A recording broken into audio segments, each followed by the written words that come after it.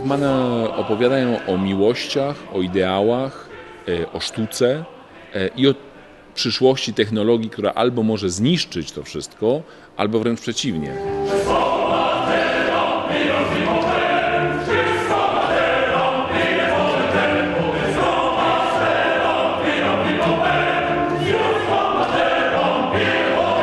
Offenbach był przede wszystkim twórcą operetek. On tam się spełniał. Natomiast wiadomo, że e, każdy twórca ma gdzieś tam z tyłu głowy jakieś takie dzieło, e, takie opus summum, które chce stworzyć i na pewno e, w opowieściach Hoffmana Offenbachowi się to udało.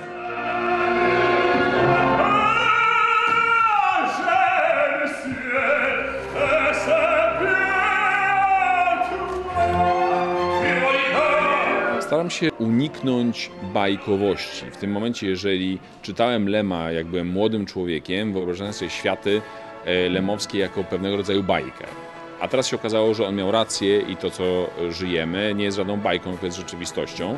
E, W innym designie oczywiście. I pomyślałem tutaj, żeby pójść o mały kroczek do przodu, czyli mówić o przyszłości, ale takiej bliskiej. Stąd cytat z Czarnego Lustra, czyli serialu Black Mirror, gdzie pokazujemy przyszłość, ulepszając troszeczkę technologię, którą mamy dzisiaj. Czyli to, co się za chwilę stanie, za 5-10 lat. Nareszcie, jako reżyser, mogę uzasadnić, e, co to są te okulary Coppeliusa, które daje Hoffmanowi i widzi maszynę i się w niej zakochuje. Opowiadam o efektach specjalnych tylko dlatego, żeby powiedzieć o klamrze.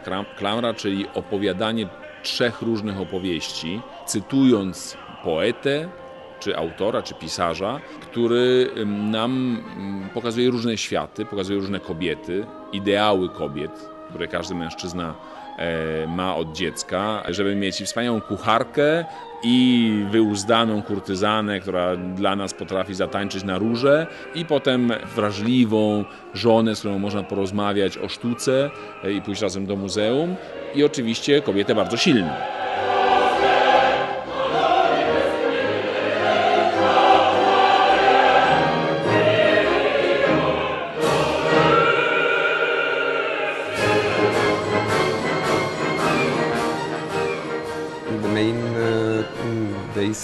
Things was uh, to have uh, you know the, the effect that looks like really like an hologram. So and the uh, inspiration became from for example from the movie uh, from uh, Kubrick the, the 2001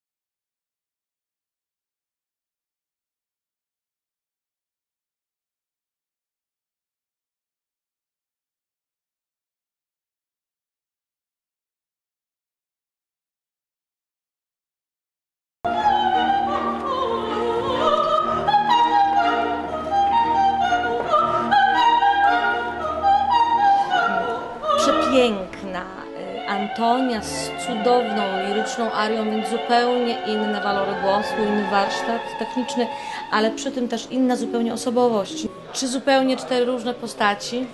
Z jakiegoś powodu kompozytor chciał, żeby śpiewała je jedna kobieta i ma to swoją wielką wymowę, wielką metaforę, bo to w końcu jednak jedno ciało, jeden instrument, jedna dusza interpretuje te wszystkie postaci, co sprawia, że tak e, naprawdę kobieta jest bardzo złożona, a może w oczach mężczyzny my wydajemy się być tak bardzo skomplikowane.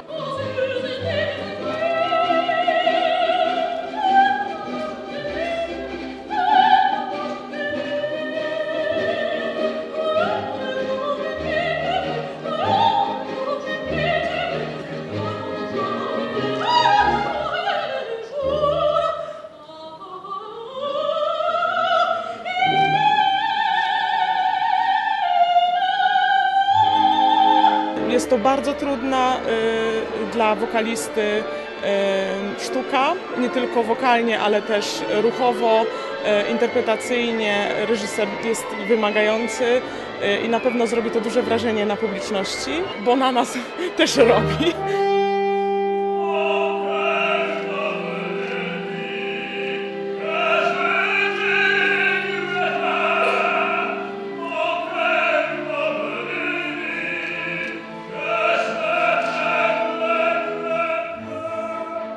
Jest nieprawdopodobne wyzwanie, że tak powiem, e, wokalne dla, dla, dla tenora. Tylko no, ogrom tego materiału, różnorodność e, jakby tych stylów wokalnych jest taka, że po prostu no, trzeba e, absolutnie świadomie do tej partii podejść właśnie pod, względem woka- technicznym, wokalnym. A jeszcze biorąc pod uwagę inscenizacja, która wymaga od, od właśnie głównej postaci, od Hoffmana, dość dużej sprawności fizycznej. Nie buntowałem się, ponieważ akurat mój organizm e, nadążał.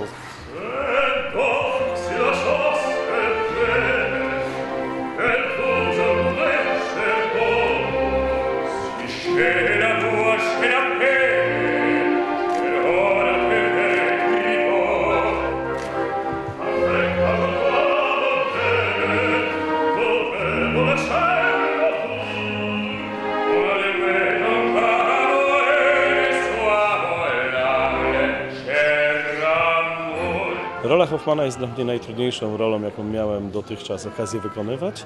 E, Jeśli miałbym porównać do jakichś ról, które wcześniej wykonywałem, no to zawsze myślałem, że e, partia Manrika w Trubadurze jest taką najtrudniejszą, taką najmocniejszą partią tenorową, jednak po, po próbach, e, jakie tutaj odbyliśmy i, i po tym, co, co mam do zaśpiewania w partii Hoffmana, stwierdzam, że to jest póki co dla mnie najtrudniejsza partia tenorowa.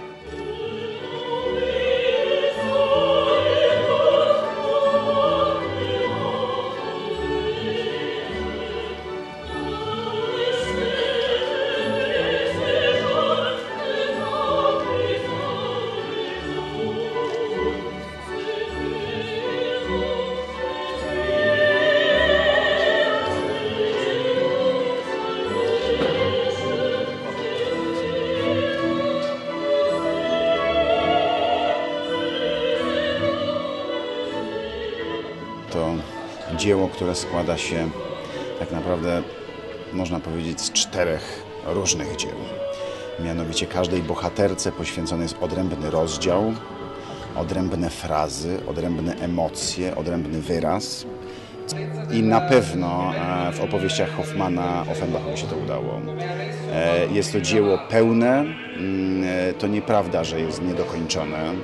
Ono jest po prostu nie, nie, nieodkryte do końca jeszcze, wciąż, jeszcze wciąż istnieją nuty, które i zapisy samego Offenbacha, które są po prostu nieopublikowane. Te pomysły, które tam zawarł e, i, i, i cały swój kunszt i warsztat kompozytorski, to jest faktycznie jego naj, najwybitniejsze dzieło.